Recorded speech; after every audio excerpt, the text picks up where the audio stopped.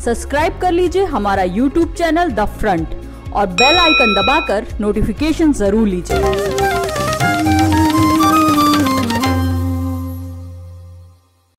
नमस्कार आज और भी आपका स्वागत है। मैं हूँ सनी श्रीवास्तव। देखते अब तक की बड़ी खबरें।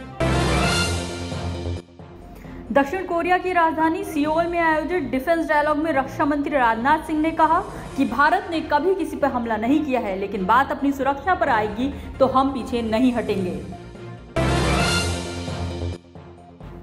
मुंबई में भारी बारिश के चलते आज भी रेड अलर्ट है। वहीं महाराष्ट्र, गुजरात और मध्य प्रदेश समेत कई राज्यों में भारी बारिश होने की आशंका है।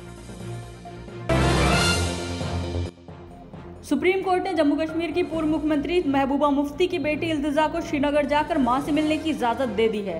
साथ ही प्रशासन से उनको सुरक्षा मुहैया कराने के लिए कहा है।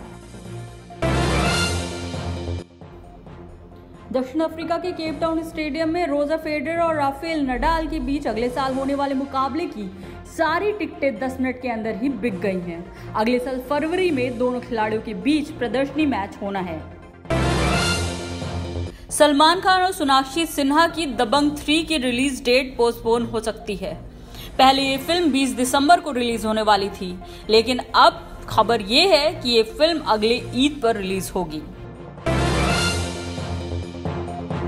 ये थी अब तक की बड़ी खबरें। देश और दुनिया के हर मुद्दों पर हमारे एक्सपर्ट की राय जानने के लिए देखते रहे द फ्रंट। सब्सक्राइब कर लीजिए हमारा यूट्यूब चैनल द फ्रंट और बेल आइकन दबाकर नोटिफिकेशन ज़रूर लीजिए।